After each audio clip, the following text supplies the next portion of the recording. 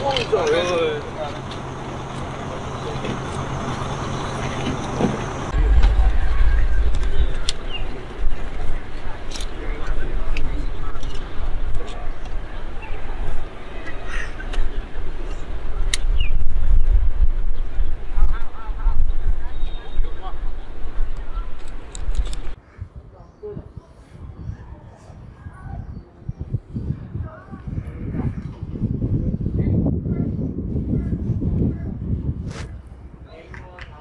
Thực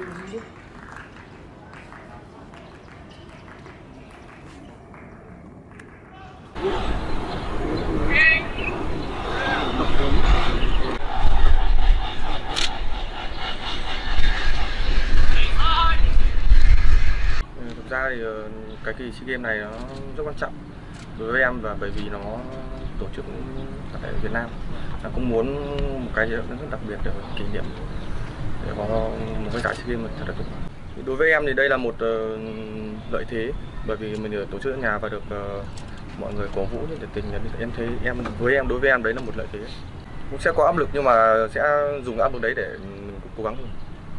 Vâng, từ hiện tại thì ờ, cũng, cũng cần thêm thời gian để bọn em đang tập trung tập luyện để cho bản thân mình tốt hơn rồi sau đó thì mới nghiên cứu các đối thủ là một người anh thì cũng sẽ chia sẻ cho các em những, những thử bài tập những cái ờ, gì mà các bạn mới chưa hiểu.